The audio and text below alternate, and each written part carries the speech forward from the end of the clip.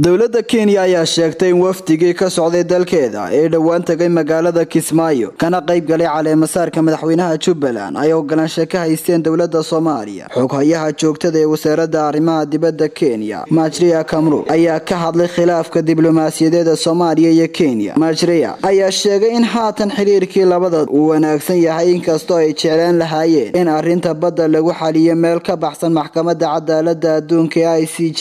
qaar ka mida ah siyaasi siyaasiyiinta soomaalida ayaa dowladda kenya ku eedeeyey inay faragelisay doorashadii dhowaan ka dhacday jubbaland oo ay la safatay hal dhinac siyaasiyiinta ayaa xilligaasi sheegay in kenya ay ku xadgudubtay hawada soomaaliya maadaama oo diyaarad ka timi kenya ay toos uga degtay kismaayo taasoo loo arkayey inay baal martay amarkii dowladda federaalk ee ahaa in dhammaan diyaaradaha tegaya kismaayo ay soo maraan muqdisho sidoo kale diyaarad ay la socdeen wafdi ka socda kenya ayaa ka degtay magaalada kismaayo si ay uga qayb galeen caleemasaarka madaxweynaha jubbaland waxaana arrintaasi wax laga weydiiyey majeria kamuu cabdirashiid maxamuud maxamed cabdirashiid gudood wararka star t v